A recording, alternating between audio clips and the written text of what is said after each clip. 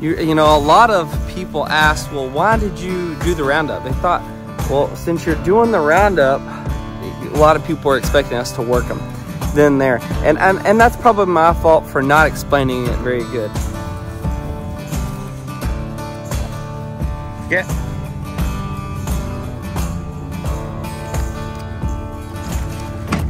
Well, thank you.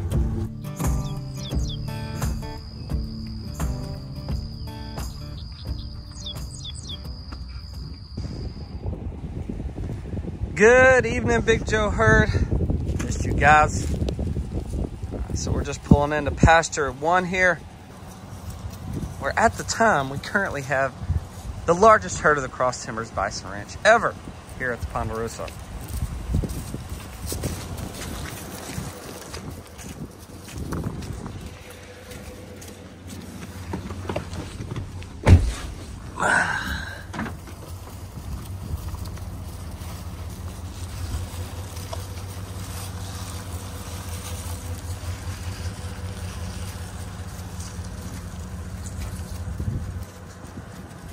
Thirty-two calf.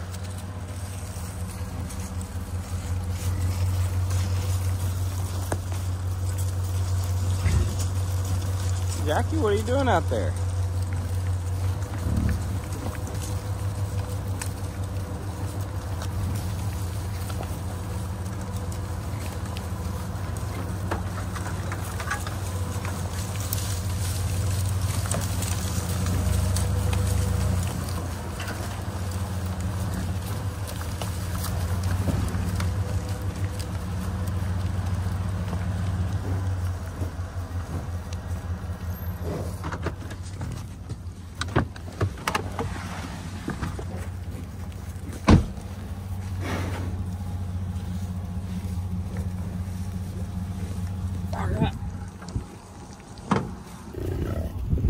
Hey guys, Dusty Baker Timbers Bison. Welcome back to the channel. There's a 32 calf and her crazy eyed mother. Got Jackie out here with us. We are this is the largest herd at the at the Ponderosa we've ever had. Here comes our big guy, Mr. Big Joe. I just pulled out here. I've got some uh, new protein tubs I got for him. Just bought and uh, they're 20% protein tubs that we like to put out for these guys during this time of the year. There's just not enough protein in that hay. We're gonna talk to you about what's going on inside our hay. We got it tested uh, late this summer. Marissa and I took some samples, took it to our extension office. We got the results back. We're gonna go over that with you. Look at the cover crop field. It's so green over there. It's coming in. It's looking awesome. But these bison are healthy. These guys are being caught very soon. Got to catch you up on a lot of stuff. I know we did the roundup with all the horses and the friends on the ATVs. We did all that fun stuff for the first time.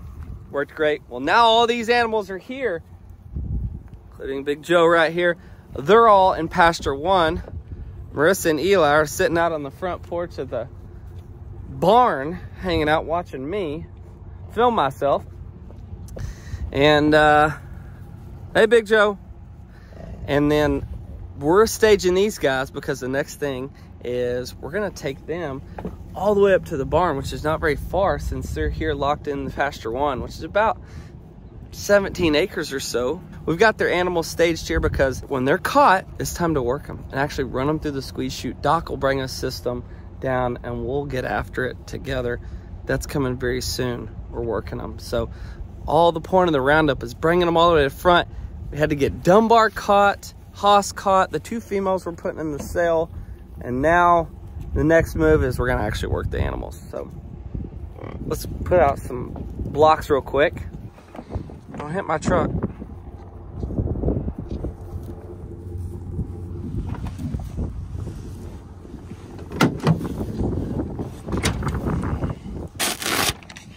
Ooh, look at that goodness. Oh yeah. Like that. But you gotta give me room. Mr. Joe to do this.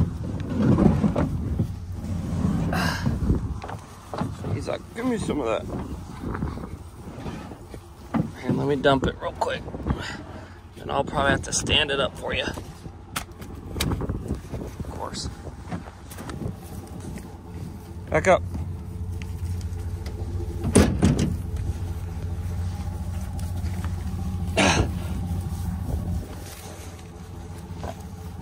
Get.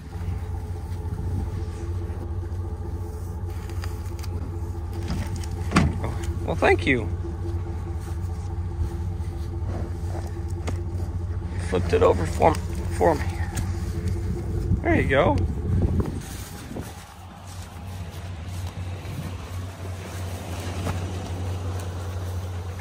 Pull there.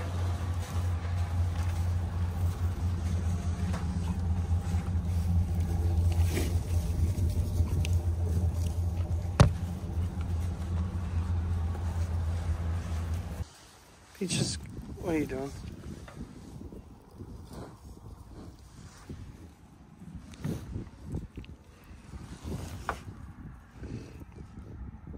Peaches.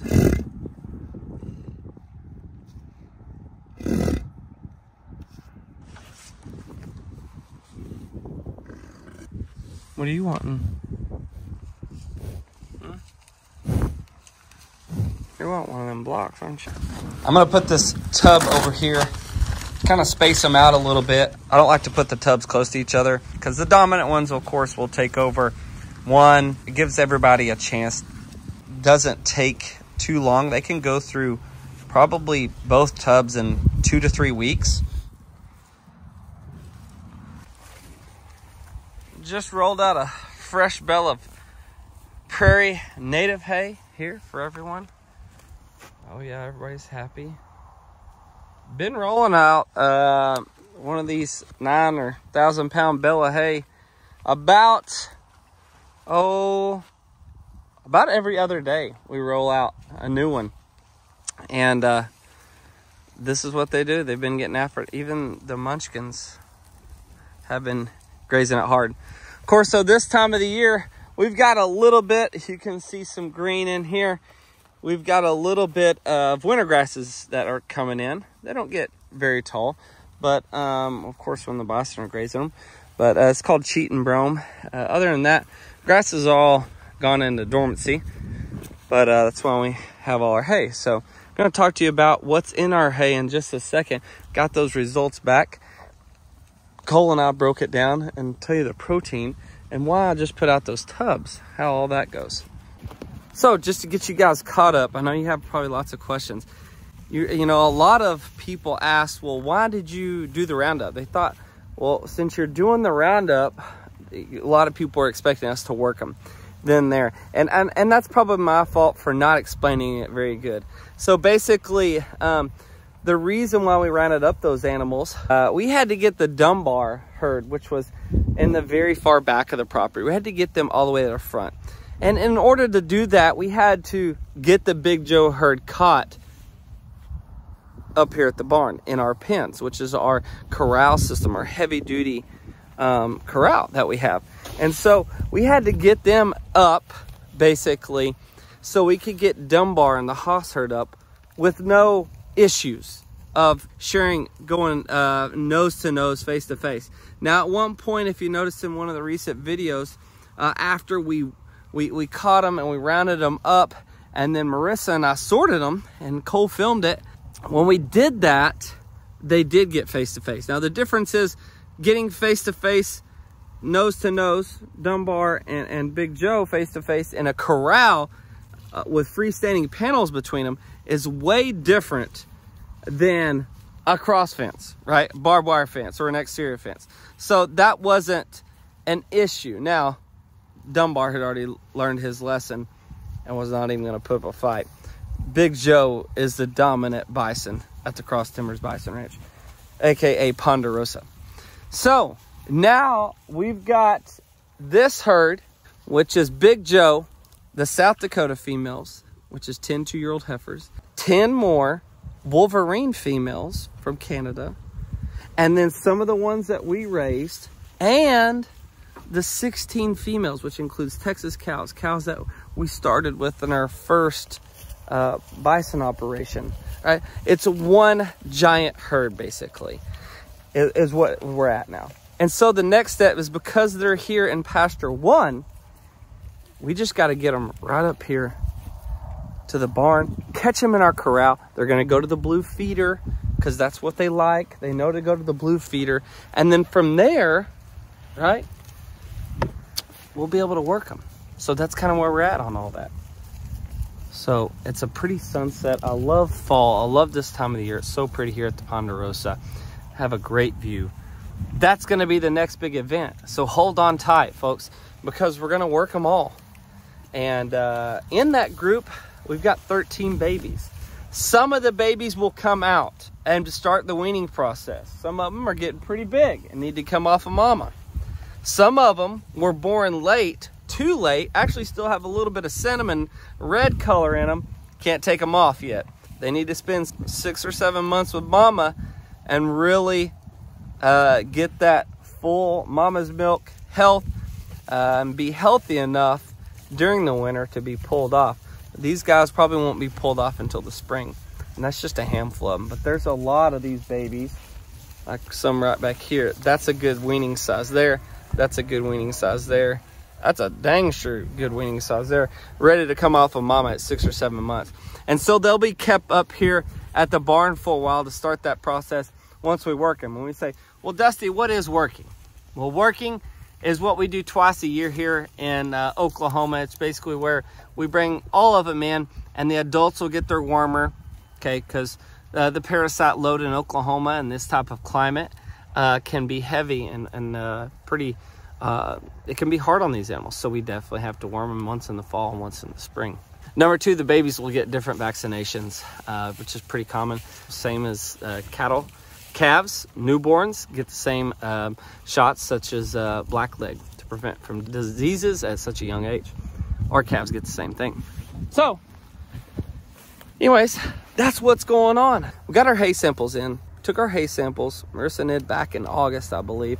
Got them tested. We got them back. Been wanting to talk about those with you. Cole and I did a little sit down segment going over our hay.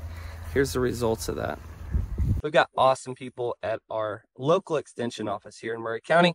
We're taking samples for them so we know what they're getting over the winter. And then once you do that, once you get your protein, you know how much protein you're getting from uh, your bales of hay, then you can, if you need a supplement, you can counteract with cubes. Do you need a 14% cube? Do you need a 20% cube? And you can figure out how much you need to feed your animals, depending on how much protein they're getting.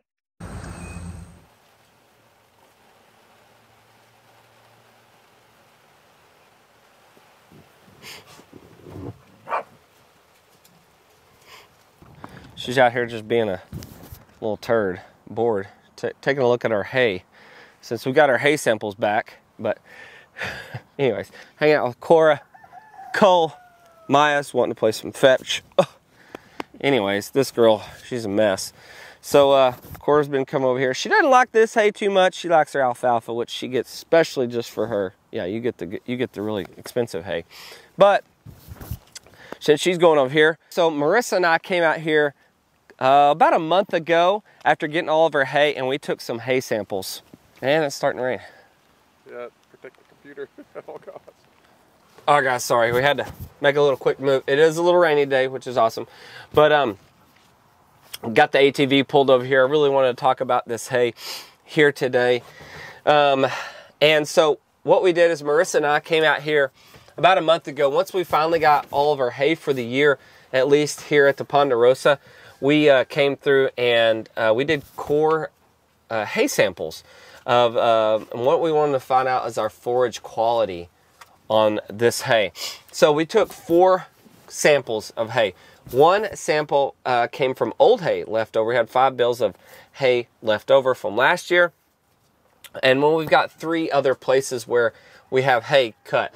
Um, and two of the places are connected to us. They're right across from our one of them's connected to us, the other one's right across the road. And then another source of hay is from uh, the guy who cuts all of our hay, which is Richard. He got it um, from across the highway, actually. So all of our hay is native hay. That's what we try to get. Most of it is native hay. There's going to be some other stuff mixed mixed in, but as you can call it prairie hay. So um, that's what we shoot for. We try not to get Johnson grass in it because we don't want the Johnson grass spread out on our property. But um, you're going to get some Johnson grass here in this part of Oklahoma as part of it. So we got our hay samples back. Um, we took our hay samples to the extension office here at Murray County, which is the OSU extension extension office, my alma mater, and uh, they we basically sent those off. Roseanne at the office did send them off, and two weeks later we got our samples. So here we are. Got my report here from Oklahoma State, and I also got a, a, a um, kind of forage quality interpretations uh, breakdown of what some of this stuff means. Now, because this is the first time Marissa and I have got these hay samples, it's kind of going to be a learning curve for us. So, um, but the good thing is, is that we are interested in how much protein mainly that we're getting um, in our hay from all these different places. And so what you can do is because we know the protein now, which I'm going to talk about we can supplement other sources of food. Like we do cubes um, which is a 14% cattle cube. You can do a 20% cattle cube which is their candy their cake whatever you want to call it. And then you can also supplement with something that we like to use as tubs uh, protein lick tubs. Um, but here just a just an example we'll get a give you a full description of this here just to show you what i'm looking at. There's 10 acres of next to us that we were able to get some hay off of. Um, and it was one of the highest protein um, sources that we got of native hay, and it was packed with native hay, which is right next to our hay meadow where Dunbar and the Haas herd was. And uh, dry basis, we got 9.1 uh, percent of crude protein.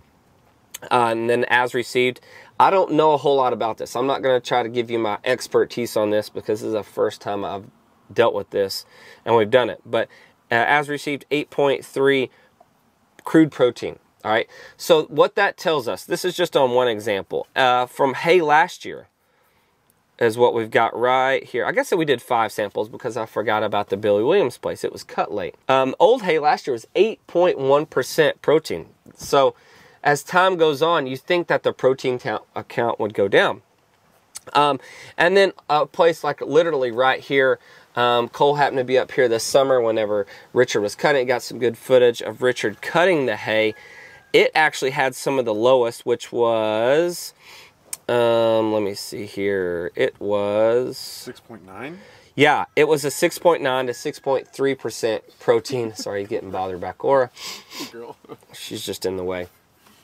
Um, and there's a couple other breakdowns on this uh, percentages. You've got um, neutral detergent fiber, you've got uh, net energy, which can be broken down by maintenance. What do, how much protein do they need just to get by? How much protein do they need for lactation? If you got a bunch of mamas, so dairy cows probably, and then by net energy gain. If you want them to gain weight, how much protein do they need, and then how much do you need to supplement for? She's all up in your grill. so there's lots of get out of here. Girl. She's just nosy. Hey, come here. Come here. Go eat your, your good hay. You get the good hay. What we can do with all this is basically know what's in our hay. Now, we what we did was we saw a reference on here. This is by Oklahoma State, and we're pretty sure it's either going off of alfalfa or fertilized Bermuda. But it says uh, on on here a good quality forage of protein, crude protein, is close to 20%. Now, you're going, well, Dusty, you're way off if you're half of that. So if we're anywhere from 7 to 9% on all of our hay for that we're going to feed over this winter, you're like, well, that seems low. But that is off of a fertilized Bermuda or alfalfa. And we don't buy alfalfa for our bison. We go off of the prairie hay. And so what we can do is if we're averaging about, let's say 8% on all of our sources of our prairie hay that we have here, which is right behind me. This is a, this is a chunk of it. You say, well, you got 8%. Well, you got to think about how much does how much do those animals need? A, a typically, just a cow need, uh, you, which our cows, okay, you can call bison cows, compared to cattle, are about the same uh, as far as protein that they need.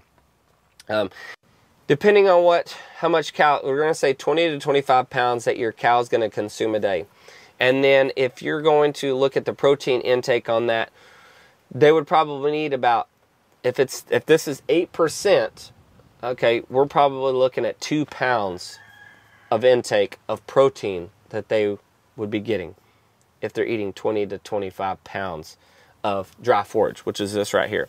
So there's 8% average of protein in this. So what you can do with all that, you know, all this information is you if you want your cows or bulls, whatever it is, to have higher protein, that's where you may have to supplement, which is what we do. We use the the tubs, which is the licks, um, and you can say, well, I just want a 14% tub. I just want a 20%. You can get a 30% tub.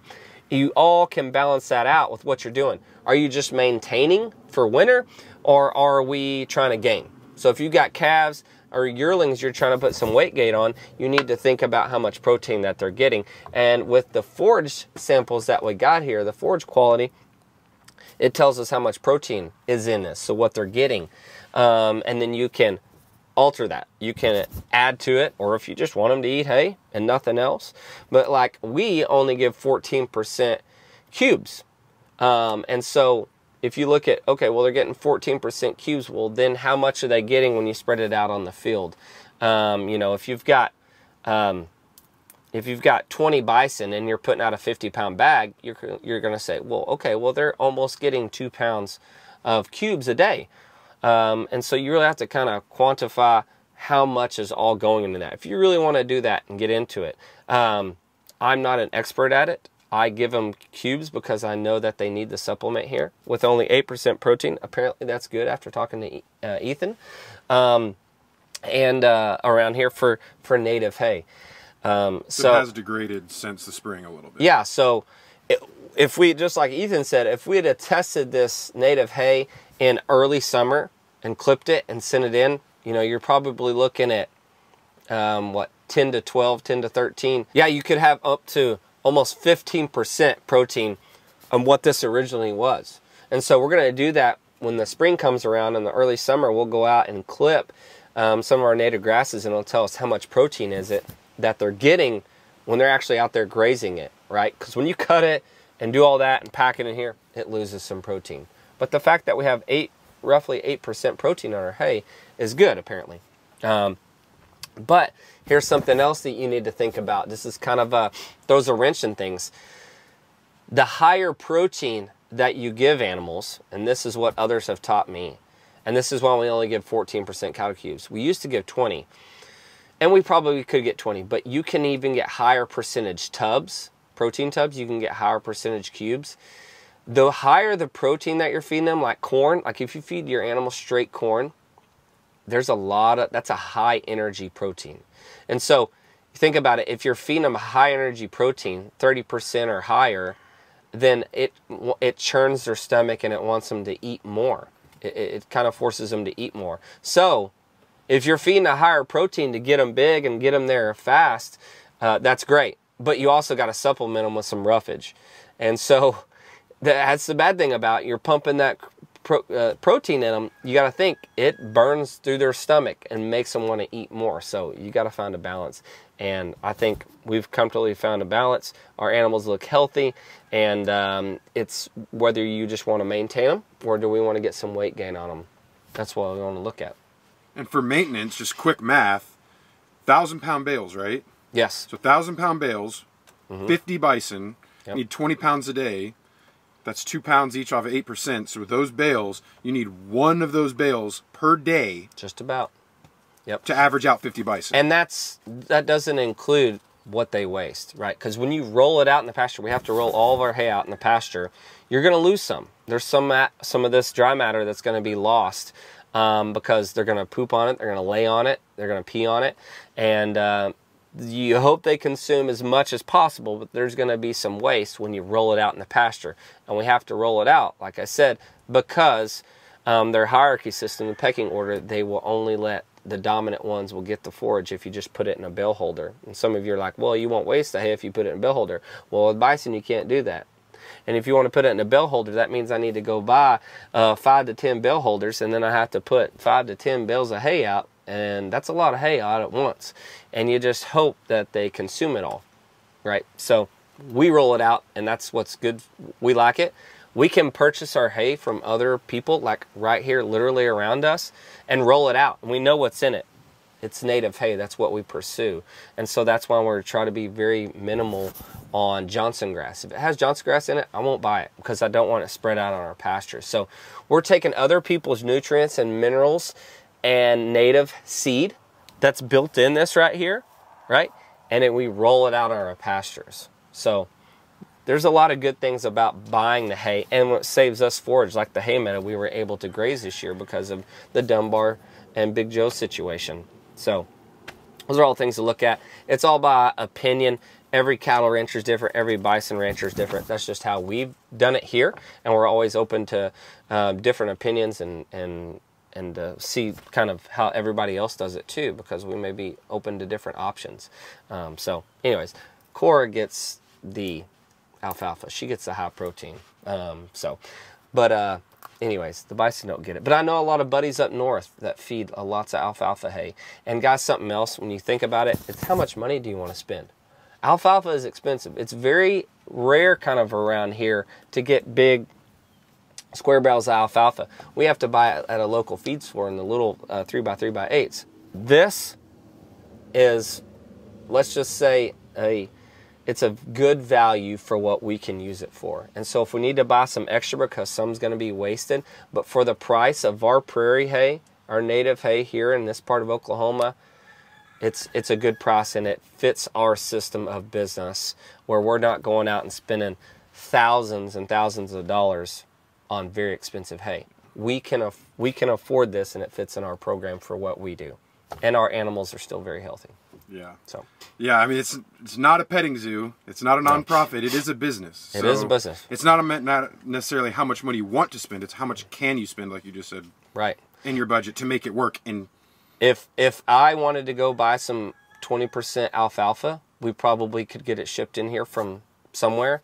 Um, but that's going to cost a lot more than this. Another right drought, and you could lose the ranch if you're spending it all on yeah, stuff like that. Absolutely. So. so it's really what can fit in your budget, and the fact that we can get this hay right here, right here, and over there. And I'm not kidding. We're touched all these pastures. There's one place where we got hay this year that's less than a mile from the road. That's the furthest place. The fact that we can get hay like that and it's native, it's what we want. Why not? Right? It's right here, and and the bison love it they love it. So if they're happy, then I'm happy. Mom is happy. Yep. you know how it goes.